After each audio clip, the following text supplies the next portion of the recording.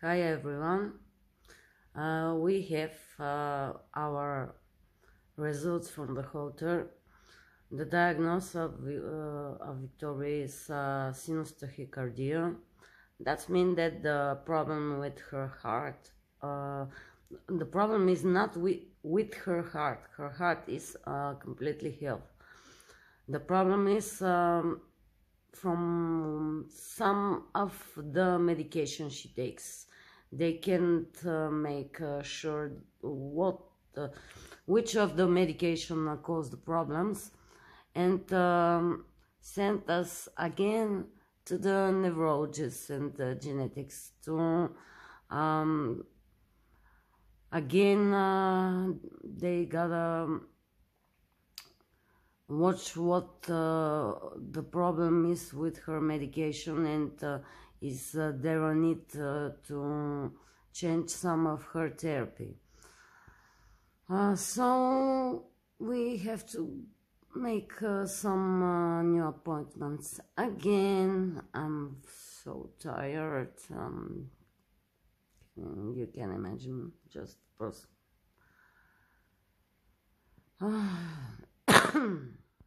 I'm sorry. Last night she makes uh, five six seizures again. And uh,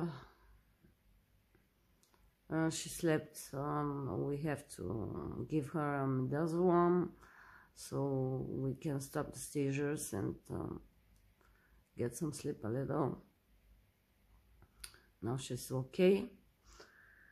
Uh, but uh, we still don't have answer why is uh, this height um, heart rate from the date?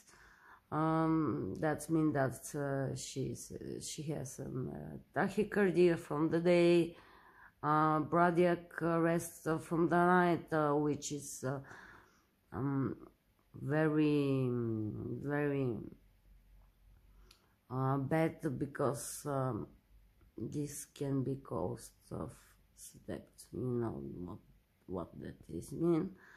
Uh, that's uh, mean that we have uh, maybe we should have to remove her amino acid cocktail she takes but we find out uh, in the next level when we get the genetics and neurologists.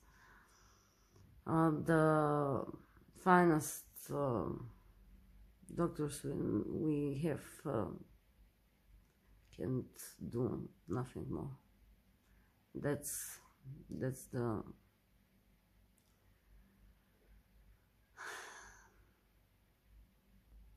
for the moment is now. I wish you have a nice day and be healthy.